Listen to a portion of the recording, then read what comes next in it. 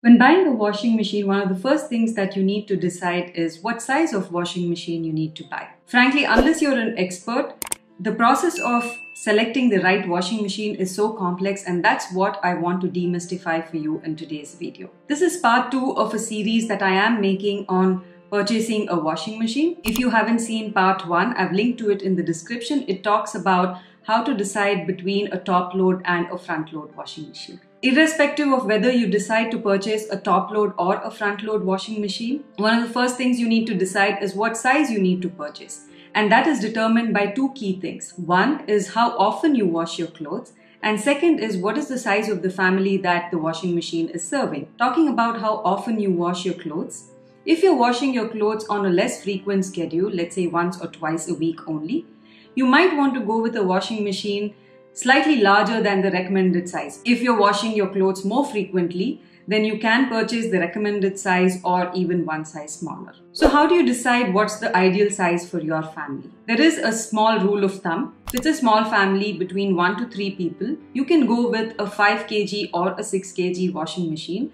that can hold approximately 25 t-shirts or if you're washing large bulky items, you can see on the screen how many bulky items you can wash in a single cycle. If you're a medium-sized family between 3 and 5 people, you might want to go for a 7 or an 8 kg washing machine which can wash between 35 and 40 t-shirts or a number of bulky items as shown in the screen. If you're an even larger family over 5 people, then you might want to purchase the 9 or 10 kg washing machine which can hold between 45 and 50 t-shirts or a number of bulky items again as you can see on the screen. Remember that the larger the capacity of the washing machine, the more energy and water it is going to consume. So you might want to pick a washing machine that is just the right size for your family. Now, if you're considering purchasing a washer dryer combination, that means that you need to make your decision based on the drying capacity and not just the washing capacity. That is, if you are planning to use drying every single time during your cycle. So what does this mean?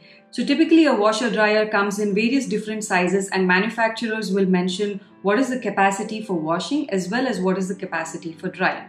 So for example, you might get a 7 kg washing and a 5 kg drying or you might get a 9 kg washing capacity with a 7 kg drying capacity. You might want to select based on the recommended sizes for your family based on the drying capacity. The main reason for this is that drying requires a larger drum and it requires the clothes to air or breathe properly during the drying cycle. Again, here, similar to the washing machines, the larger the size that you purchase, the higher is the energy consumption, energy and water consumption.